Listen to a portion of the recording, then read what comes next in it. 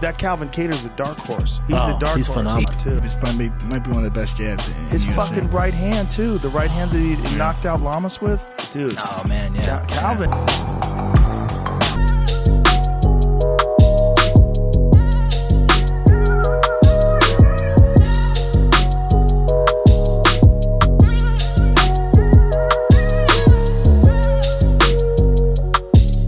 So I've been uh, following actually Calvin Kattar for a while now. I think uh, he has a style that's very friendly. I always loved watching his fights. I thought the excitement that he brings. Um, I mean, it's one that can elevate him, um, show that he can beat these guys, and he switches, he stances, he creates angle, his distance control. Like it's very good high level striking for MMA, but I think a little touch of that bazooka in there uh, is just going to give him a little bit of flash flair and hopefully get him a good finish against Jeremy Stephens in April. And uh, I just want to thank them for you know welcoming open doors, the team, the coaches, uh, everybody. More more than uh, PI in Vegas, and uh, since then I followed him on Instagram, and I've seen his fights. Kid's a beast.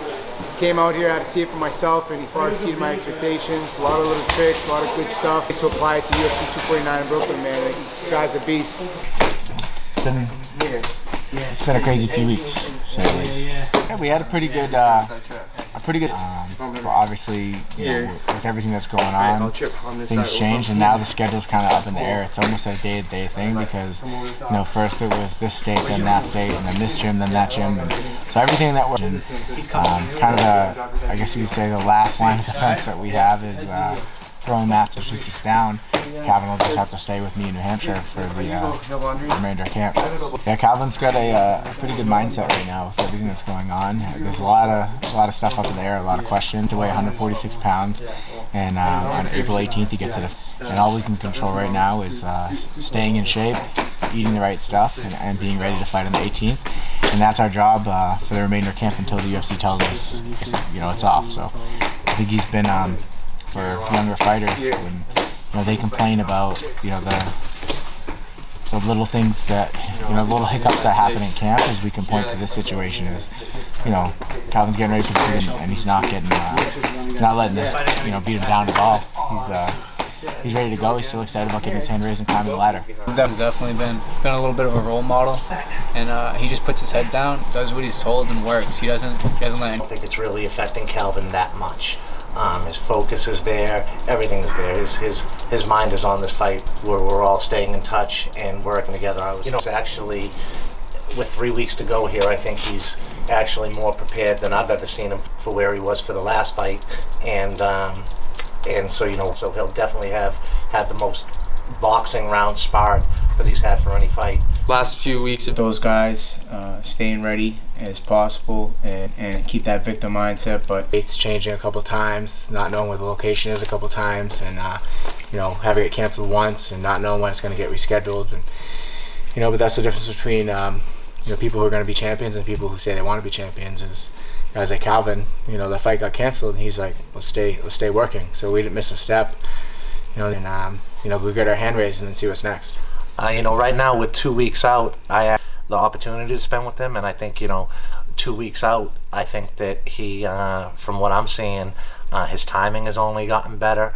Um, his distance, um, more time to work the game plan that Tyson has put into place, and uh, I just, I just think that it, it's funny how things work out. That the, uh, the, the two weeks where it, it two weeks out in the original postponement is just giving Calvin more time uh, to be even ready. I think, you know, had it gone down in April, it would. and uh, getting in work a little late night, trying to mimic fight time for uh, a couple weeks from now.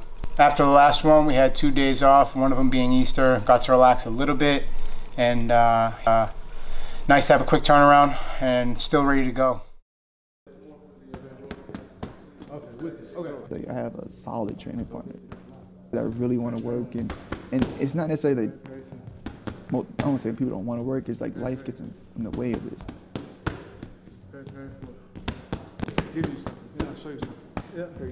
And I've started noticing like throughout the years, like you know, like I can find a couple guys to train, but not the way we need to be trained.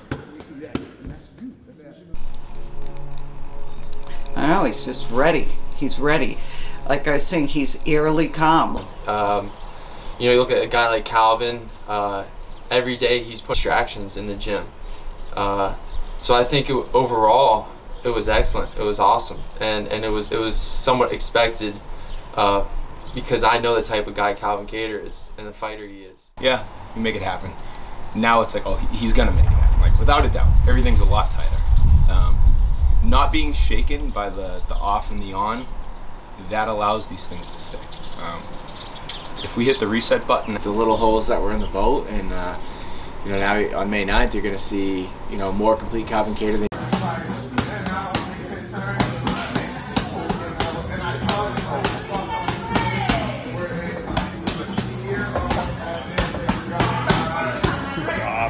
Hero, a guy that's not scared, a guy that's not playing politics, and you know we're gonna put, you know, we're gonna put a stamp on that win and, and show everybody that we're a five-round fighter and that you know we're a true headliner and we're ready to take those top five guys on. For a fight on the 15th of next month. I'm sorry. Um, you know, you'd always like to have more time, but Calvin's one of those guys that he's he's always in the gym. You know, May 9th we fought Jeremy Stephens.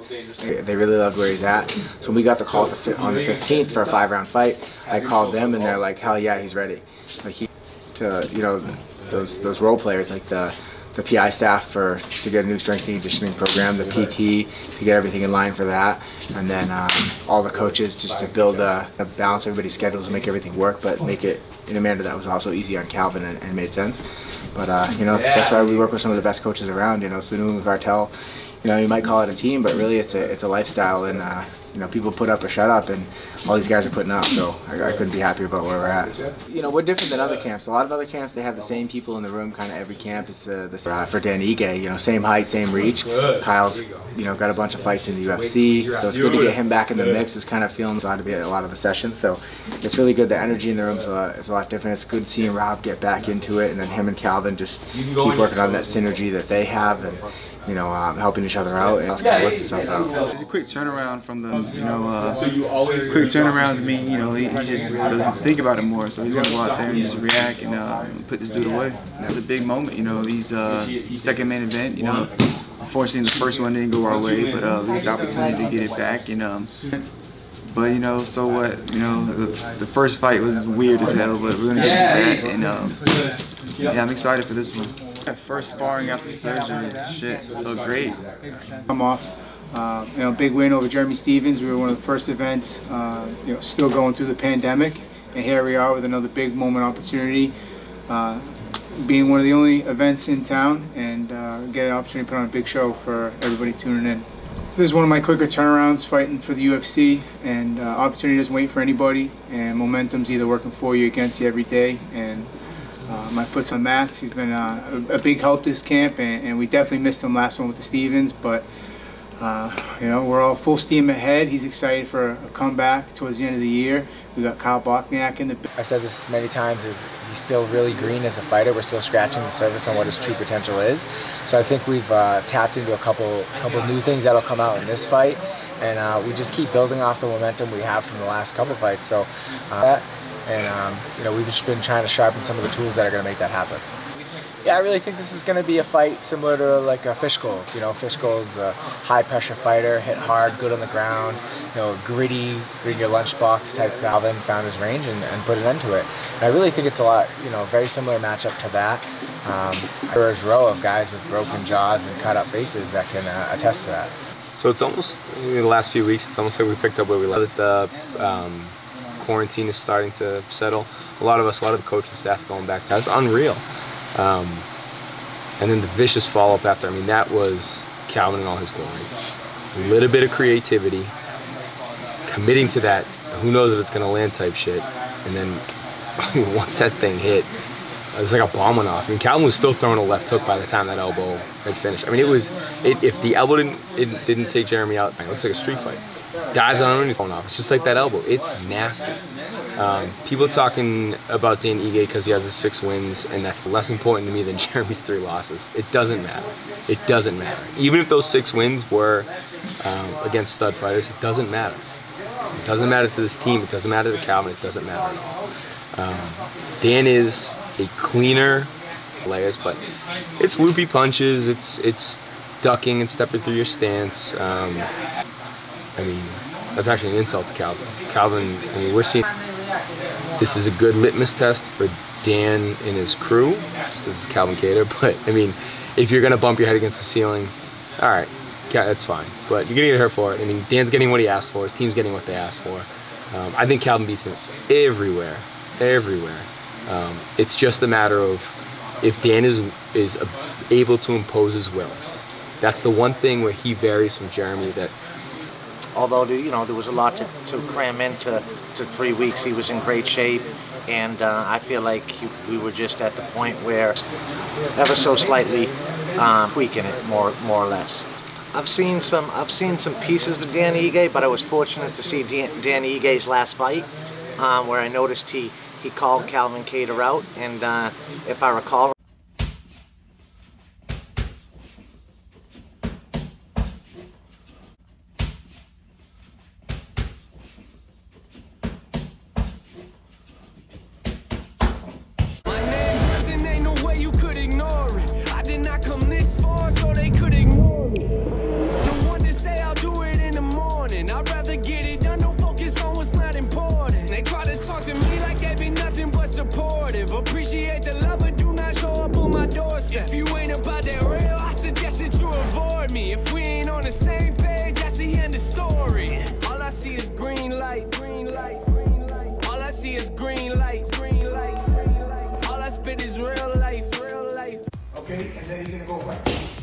Down to my guard with the jab. It looks like this again, all right? So he's gonna make fade here, all right, just like that. Make sure you're stepping, also setting up a body shot or right hand over the top. Let's do it right, a little bit quick enough for them, all right? A little quick enough for the count. Here we go, quick.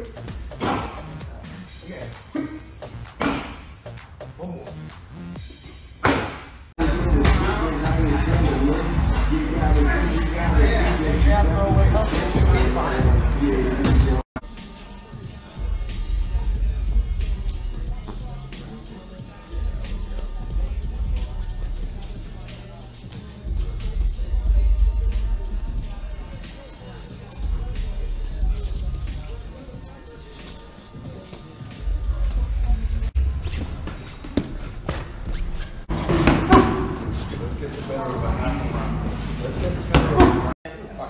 Calvin, how fast can you run a quarter mile? Faster than you.